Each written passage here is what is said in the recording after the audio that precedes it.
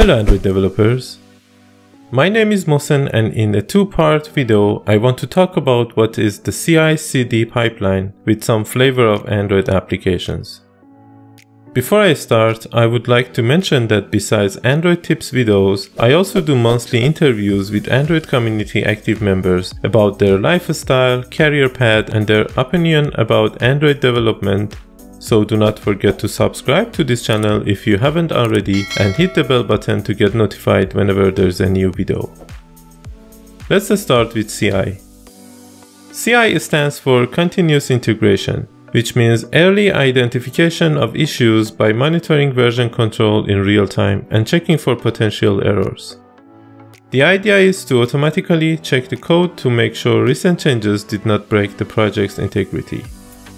It consists of a set of automated practices, namely checking the code style, compiling and building the source code to find out it's compatible, packaging the final product, which in our case is an APK file for every build and flavor type, and at the end running tests. Based on the test pyramid concept, the biggest portion of tests should be unit tests cause they are fast and therefore cheap and then integration tests which are about testing how multiple parts of app integrate and work properly with each other. And in the end, UI tests, which as we all know are the most expensive and slow tests. In the best case, we can use Robolectric open source library to simulate an Android device and in the worst case, we require a real or virtual Android device running on the CI machine to be able to run our tests. Having this pyramid in mind, we should also make sure we do not block the CI with a slow UI test for every change commit and maybe only trigger them for pull requests. Therefore, this is a good point for you to discuss with your team and decide which source control changes should trigger which part of the CI flow. As a quick sample, I'm going to use a simple Android application to set up CI-CD pipeline for it. I have already done setup linters like KTLint and detekt to make sure the source code integrity stays the same in every pull request, and on top of that some simple unit tests. There are different cloud or even in-house platforms that you can buy or rent to set up for your Android application. Services like CircleCI, Jenkins, Fastlane, Bitrise, JetBrains TeamCity, and etc. Today I'm going to set up GitHub Actions CI/CD platform for our sample application.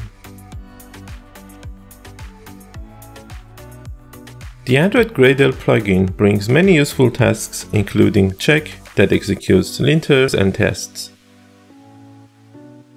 Plugins like Detekt and KTLint add themselves as this task dependency, which means this task won't be successful if they find any issues in the code.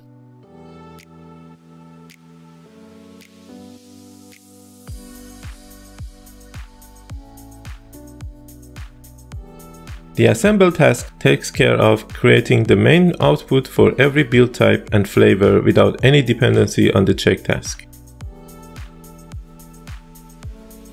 Another useful task to know is the build task.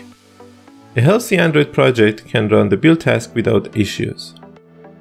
This task depends on the check task in the task graph, which means if you run the build task, the code will be compiled, linters and tests will be executed, and it also depends on assemble task and in the end will generate the APK packages for us.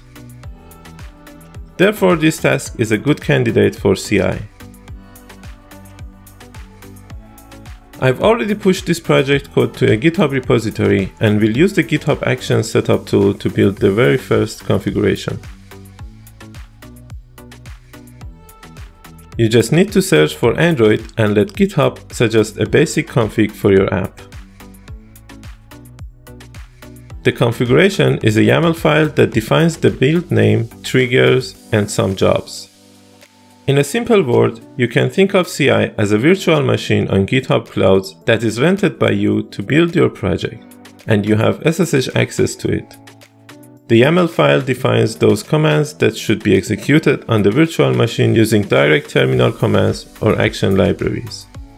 In this Android project CI config example, the jobs are cloning the code, installing JDK, granting execution permission to the Gradle wrapper file, and in the end executing the build task using the wrapper.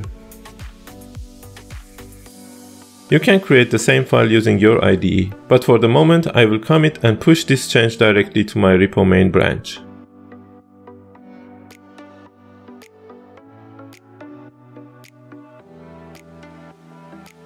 As you can see, as soon as GitHub finds the CI configuration file, it checks the triggers, and since we had pushed into the main branch as a trigger, it started working and running the project build task.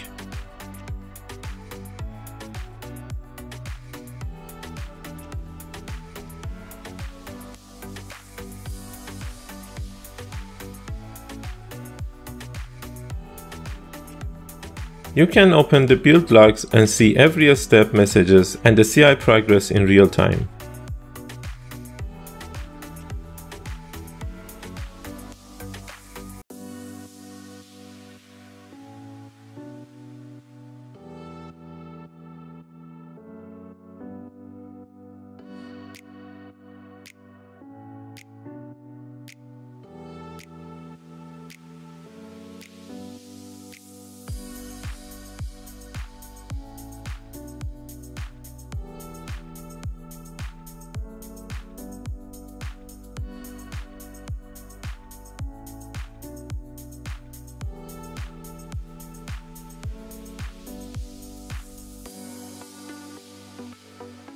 This build took 5 minutes. Based on my experience, if you switch the virtual machine to macOS, it can even execute faster.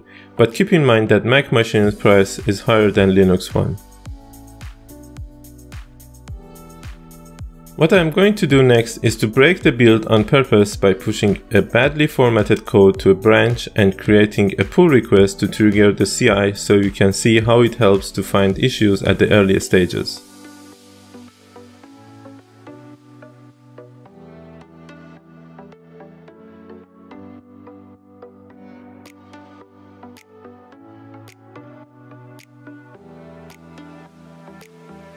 As you can see, the check task also breaks locally, but let's say that developer forgot to execute that before creating the PR and push the faulty code.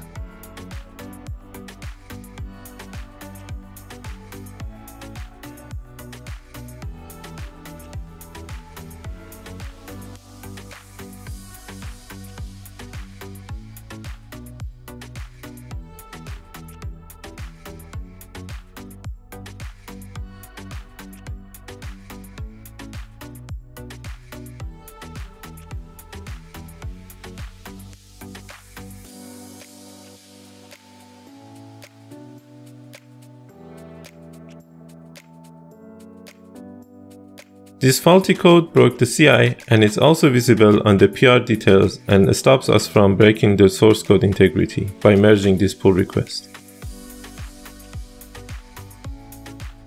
This was a very simple example and you should think of bigger issues like breaking a test by mistake or even introducing a new bug in the production. The GitHub Actions come with many open source actions and you can go further and for instance integrate it with your team Slack channel so you get notified whenever someone breaks the build. If you are interested, I will add links to some interesting and useful GitHub actions to the video description and also some references to learn how you can customize your project CI configuration YAML file based on your project requirements. That's it for this part.